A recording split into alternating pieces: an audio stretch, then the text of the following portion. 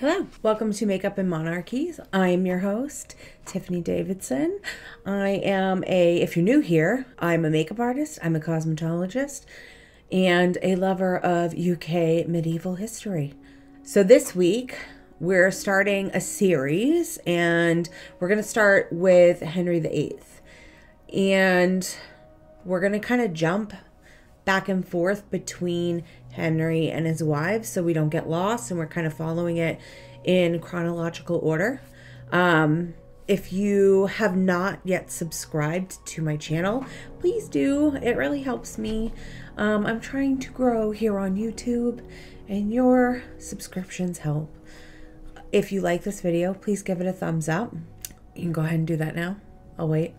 And then you can ring the bell so you're notified about all my videos that I post. Usually we post one a week, or I post one a week on Tuesdays at 10:30 Eastern Standard Time. Uh, I think that's it. Oh, you can also find me TikTok, on TikTok and on Instagram under the same name at Makeup and Monarchies. That's about it. With that being said, let's get into it. Hello. So today we're going to start by putting my hair up because it's really driving me crazy today. And crack this bitch open. Not sponsored, not gifted. Picked it up. It's delish.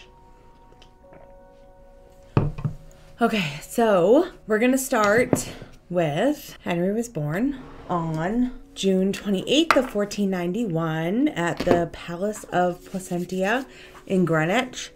Henry was the third child to Henry VII and Queen Elizabeth of York. He had two older siblings, Arthur and Margaret. He then eventually had a younger sister named Mary. He received his titles of Constable of Dover Castle and Lord Warden of the Cinque Ports when he was about two. Henry received a first class, first rate education from top educators since he was a prince. He was fluent in Latin and French, and he learned some Italian. Not a whole lot is known about his youth because he wasn't supposed to become king. It is known, however, that his father was good to him by showering the kids with quality clothing and other gifts quite often. So, Henry's older brother, Prince Arthur, married Catherine of Aragon in 1501. Henry was about 10 at this point. Henry played a big role in the wedding. Because he was Duke of York, Henry used the arms of his father, and Henry was only 10 at the time. The following April, Arthur died of sweating sickness. He was only 15 and Henry Henry was now in the limelight to his, his, become because he was heir now to his father. And Henry VII gave little Henry very few responsibilities, but was strictly supervised, and he didn't appear in public. Because of this, he came to the throne untrained in the exacting art of kingship. Tragedy struck again in February of 1503. Henry's mother Queen Elizabeth had given birth to her last child, a baby girl named Catherine, at Tower of London. The baby died a few days after her birth. Elizabeth became very ill with childbed fever, which is a postnatal infection. And she died on her 37th birthday, February 11th of 1503. Now, this had been a pretty tight knit family Elizabeth was very involved with their the children's lives and there sam- seemed to be a lot of love between them all. Henry was only 11 at the time of her death, and it seems as though this may have started or this may have stunted him emotionally. The evidence that's available my drawers. The evidence that's available, it shows that Prince Henry was very close to his mother. I tend to think this was, he was brought up mostly in a female household, which was unusual at the time. And I tend to think that this was a choice by Elizabeth to mirror how she and her siblings were raised, except her younger one of her younger brothers, Edward, who went on to be Edward V. He was raised at Ludlow. Henry's handwriting was similar to Elizabeth, so this suggests that he was what we would now refer to as a mama's boy. And I think that this event really rocked him and set the precedent for the rest of his life. Henry was still trying to keep the marriage, or Henry VII was trying to keep the marriage alliance between England and Spain intact. Uh, so he offered little Henry to marry the now widowed Catherine of Aragon. King Ferdinand and Queen Isabella agreed, and a treaty was signed on June 23rd of 1503 for their marriage, and they became betrothed two days later. Now, this gets a little tricky. A papal dispensation was needed for the impediment of public honesty if Catherine's previous marriage had not been consummated. Catherine claimed it wasn't, but King Henry and the Spanish ambassador went for a dispensation on affinity or for affinity, which covered the possibility of consummation. Henry and Catherine, little Henry and Catherine, claimed Henry and L- little Henry and Catherine didn't live together because Henry was too young, and her mother's death the following year complicated things. Mainly the problem being the succession of Castile. King Ferdinand wanted Catherine to stay in England, but King Henry's relations with him had fizzled. Because of this, Catherine was left in limbo for years, and Prince Henry rejected the marriage as soon as he could at the age of 14. Ferdinand made her the Spanish ambassador, which allowed her to stay in England. Being as pious as she was, she started to believe it was God's will that she marry he- Prince Henry, even though he didn't agree. Henry was honored on February 9th of 1506 by the Holy Roman Emperor Maximilian I and was get made Knight of the Golden Fleece. Henry VII died on April 21st. I don't know what it is about April, but the two or Edward the Fourth died in April too. It's weird. Uh, so he only he left his only surviving son, a now 17 year old Henry, as king. Shortly after his father's funeral and interment alongside his mother at Westminster, he declared he'd marry Catherine out of nowhere. So I don't know if he felt like he had to or like it would help him like become king or more I don't know, like a better king cuz he had an intended. Even though there were several issues that weren't resolved, including the papal dispensation and a missing part of the dowry. Henry said it had been his father's dying wish for him to marry Catherine. Emperor Maximilian I had been trying to marry his granddaughter, Eleanor of Castile, who happened to be Catherine's niece to Henry. Henry and Catherine had a small marriage ceremony at Friars Church in Greenwich on June 11th of 1509. On June 24th, Henry and Catherine attended their coronation at Westminster Abbey. It was a lavish coronation with the King's Passage lined with tapestries and fine cloth. After the ceremony, there was a banquet at Westminster Hall. Catherine had written to her father saying, Our time in, is spent in continuous festival. June 26th, Henry had two of his father's unpopular ministers arrested for high treason. Richard Empson and Edmund Dudley were executed in 1510 and were the first of Henry's political politically motivated executions that would continue through his reign. His dealings with the House of York was far more lame in comparison to oh shit, sorry. Far more lame in comparison to his father's. Thomas Gray, this was Henry's uncle through his grandmother, Elizabeth Woodville, her first marriage, had been imprisoned under Henry VII. The now king had him pardoned. However, Edmund de la Pole was beheaded in 1513 after his brother sided against Henry. Catherine became pregnant and gave birth to a stillborn girl on January 31st of 1510. Roughly 4 months later she was pregnant again and on January 1st of 1511 she gave birth to a baby boy named Henry. Parties were held in ho- in honor of the little prince's birth including a joust known as the Westminster Tournament. But poor little Henry died seven weeks after, leaving both his parents completely devastated. Thomas Wolsey was a cardinal of the church for from 1514 until his death in 1529. He saw domestic and foreign policy for Henry as Lord Chancellor. Henry had renewed his father's relations with King Louis the 11th of or I'm sorry, King Louis the 12th of France. This wasn't well received by his council. He signed a pact with his father-in-law Ferdinand and joined the new Holy League, which was anti France. There was an attacked plan on Aquitaine to recover it for England, but it wasn't led by Henry. It was considered a failure and Ferdinand used it for his own gains, and this strained the relationship between England or the relationship England had with France. Henry ended up convincing Maximilian to join his new whole this new Holy League and was promised the title of Most Christian King of France from Pope Julius if Louis could be defeated. Henry invaded France on June 30th of 1513 and defeated the French army at the Battle of the Spurs. After this, England took I, Touraine, you know how I am with pronunciation, and gave it to Maximilian. Then took Tournai because he was gone from England at the time.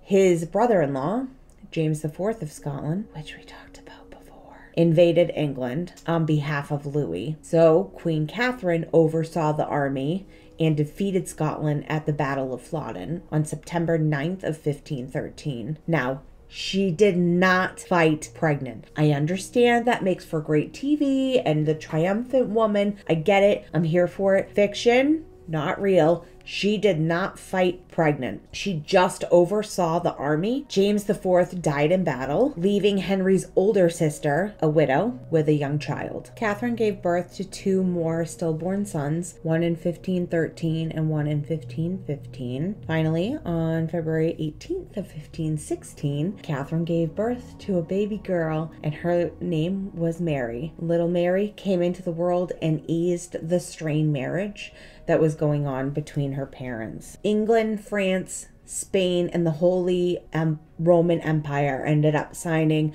a mutual defense agreement. Sir Thomas More comes into the picture and he is invited to join the King's Council because of his work within the city of London. Thomas has been had been part of parliament under Henry VII and fought how much the king requested to give as a dowry for his daughter to Scotland. Now Henry did have mistresses. This is a well-known fact. He had been having an affair with either Elizabeth or Anne Hastings, both sisters to Edward Stafford, 3rd Duke of Buckingham. The one he's probably most known for or notorious for is the affair with Elizabeth Blount. That affair went on for three years. However, in 1518, Catherine became pregnant again and had another stillborn girl. Following year, Bessie Blount, or Elizabeth Blount, gave birth to Henry's first illegitimate son, Henry Fitzroy. This made him Duke of Richmond in or he made him Duke of Richmond in 1525. Because of this, it is thought that this would eventually lead him to become legitimized, but he died in 1536 at the age of 17. He had been married for three years, and Parliament was considering a second succession act that would have allowed him to become king. Henry had been supporting Ferdinand and Maximilian financially during the campaigns, and it left England's pockets empty. I gotta fix this up. Blah. At the time, Pope Leo X had replaced Julius, and Leo wanted to make peace with France. Henry and Louis signed a separate treaty containing the agreement Henry's youngest sister, Mary, would wed Louis. Within Europe, there had been three accessions of young kings, and it offered a clean slate to all involved. Cardinal Thomas Wolsey, oh, Jack's with us, again, made a treaty or made the Treaty of London in 1518. And, and this was to unite Western Europe against the new Ottoman threat. Henry and the new French king, Francis, Francois I, met at the Field of the Cloth of Gold in Calais for roughly two weeks. A little French vacay, as we say here, or a French holiday, as they say over there. I'm just gonna go back in with my previous color and just kind of blend this out a little bit, just soften that edge. There we go. It wasn't a very friendly meeting. Uh, Charles V ended up invading France, and Henry ended up aligning England with him. Charles defeated Francis and captured him, along with his two sons and the two boys, Francis's two boys, were captured for four years. Henry removed England from this and signed the Treaty of the Moor on August 30, 30th of 1525. So we'll, we're going to back up a teeny bit from 1525.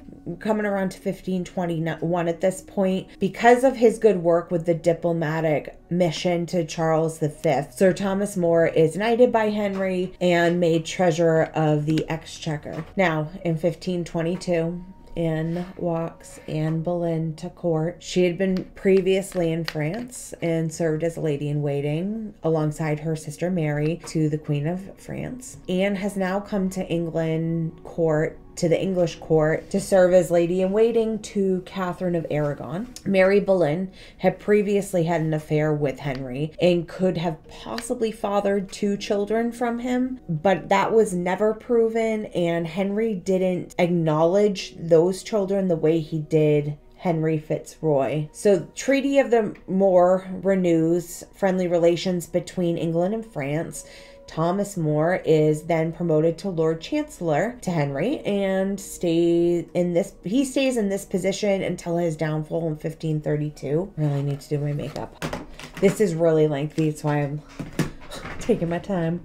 Henry now becomes infatuated with Anne. He attempted to seduce her, but she didn't give in. Anne refused to become his mistress. Mistress Catherine is now around 40 years old and isn't able to produce any more heirs for Henry. So he becomes very desperate and is weighing options. He could either have little Henry legitimized, he could wed his daughter Mary as soon as possible to produce a grandchild as an heir or having his marriage to Catherine dissolved and then he could marry Anne. This becomes what's known as Henry's Great Matter. I'm just to jump off real quick and do my liner. I will be right back. So I just did my VIEVE Modern concealer and I'm going to mix it with the Skin Dew. Not Skin Dew, Skin Dew. Okay, so that is probably so fucking loud.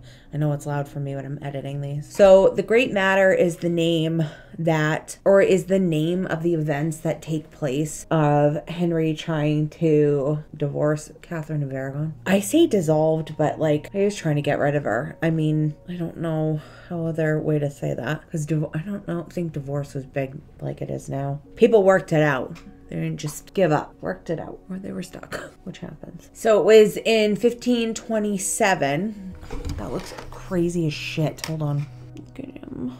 So it was in 1527 that he started to get that ball rolling with the help of Wolsey. Finally, in the summer of 1529, Henry and Catherine stood before court and pleaded their cases. Poor Catherine, right? So sad think I did use this. This wasn't bad yesterday. I used a foundation brush. Do you want to know why? Because my old as shit sponge gave out on me. I need to get a new one. I was really sad. Cardinal Wolsey and Cardinal Campeggio listened to the testimony. Oh, so let's explain who Campeggio is. So Cardinal Campeggio, Campeggio, Campe- yeah, Campeggio. Oh, I just like knocked that into my forehead. That hurt. Cardinal Campeggio was the Pope's representative in England. So he would almost like an ambassador because when you have an ambassador that is like like France had an or Spain had an ambassador in England. And if you watched The Tudors, didn't you just fucking love him? I just loved him. He was great. He really loved Catherine in the show, at least. I mean, I don't know what it was like in real life. We'll find out next week. But I loved him in the show. He was so good. Anyways, after both cardinals heard the testimony, they decided that they that it needed to go to Rome to be decided upon. So, I am like a bull in a china a bull in a china shop today. I am so sorry. Also, I crushed this shit up and used it as a loose powder. Not wasting it. Just got that way. and um my ass gonna pour. I honestly think that both of these cardinals were like fucking petrified to go against Henry. So it was kind of like, we can't make this determination. You're gonna it's gonna have to go to Rome. So they kind of like tossed the issue down to down to Rome so they didn't have to like deal with Henry's wrath. I get it. So off it went to Rome. Cardinal Wolsey is dismissed from Privy Council at, and and as Lord Chancellor. Ba- like reasoning was he failed the king. Oh, I'm like hitting pan on this. I'm just gonna bring this down because it like chisels out my face a little bit more. My chunky face. Yeah, see? Ooh, much better. Much better.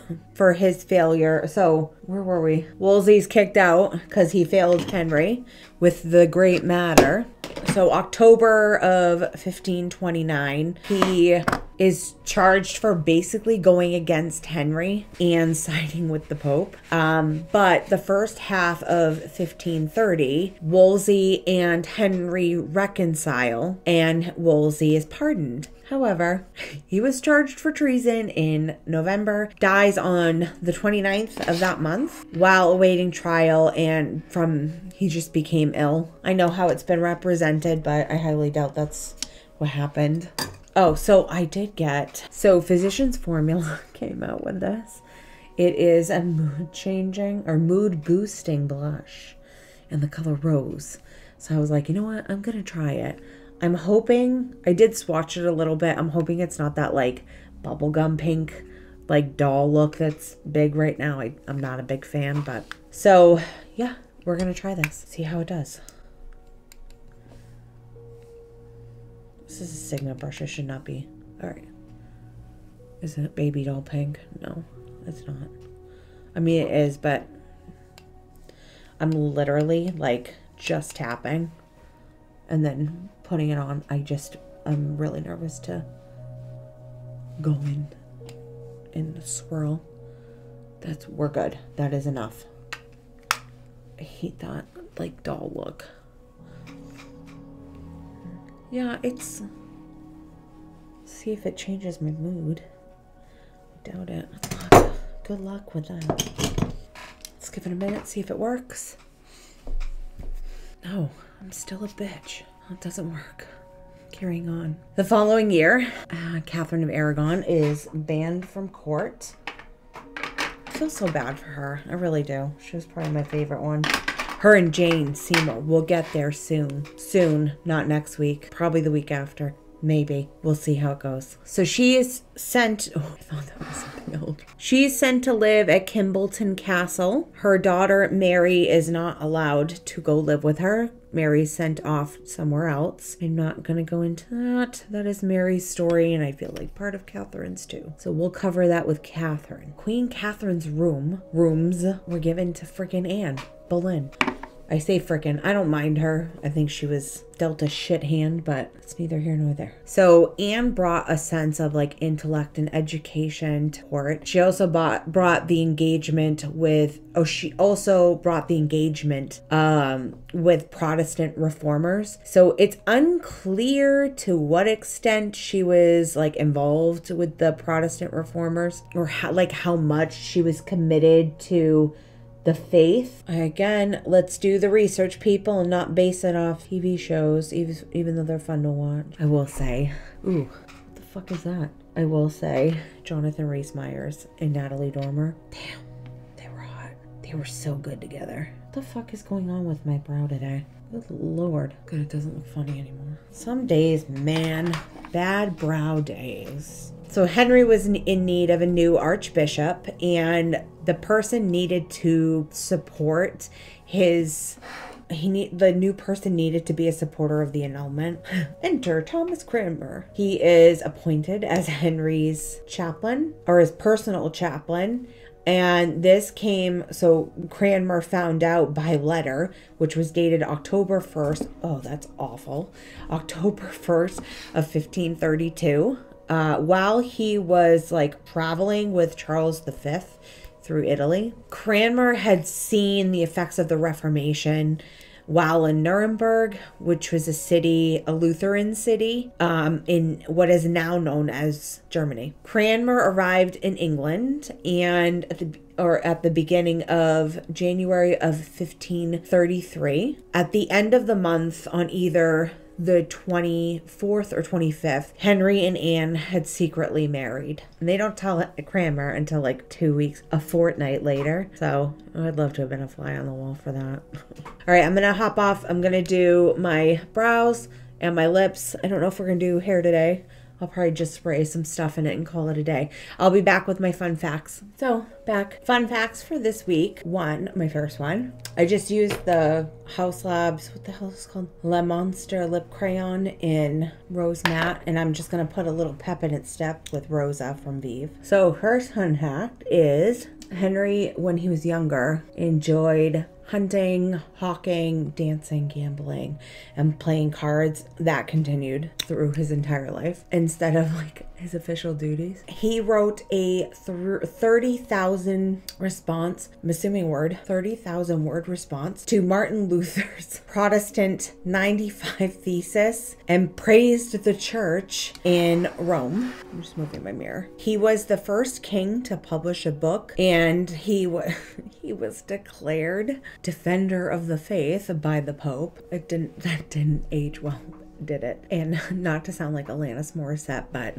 isn't it ironic? My last one is he was obsessed with sickness and death, probably due to the amount of sickness and death that he experienced in his like first 30 years of life. So I think that really carried on through the end of his life. That is it for this week. So I was gonna do all my episodes on Henry first and then like go through the wives, but I think I'm gonna jump. So next week we're gonna cover Catherine of Aragon, who's a favorite of mine. Um, so yeah, that being said, I always say that. So, anyways, that's it for this week. All the items that I used are listed down below in the description box. We're gonna do Catherine, I said next week, and then the week after that, we're gonna go into Henry again.